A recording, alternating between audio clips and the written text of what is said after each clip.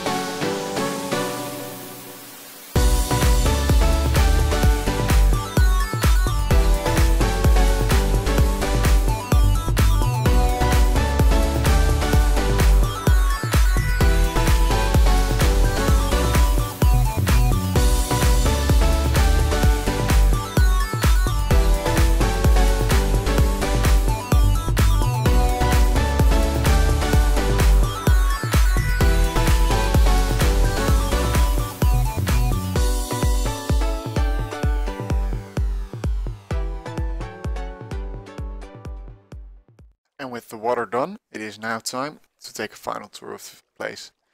Let's take a look this way where we see the valves. We see the main uh, water pipes there. And we also see the lakes full. There's a walkway over here. Turned out quite nicely, except for the torches. I couldn't find a way to hide them.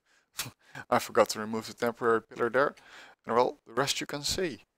I think I'm very happy with the way the whole thing turned out. Um, you might notice the dirt behind here still has to be done, but that's part of a bigger project. The entire wall here has to be... Uh, that's for a different time. For now we are done. Um, so I guess I will see you guys next time. I hope you enjoyed this video and um, well leave a like if you did like it. Leave a comment if you have anything to say about it and do subscribe to my channel if you want to see more. And then I will see you next time. Bye bye.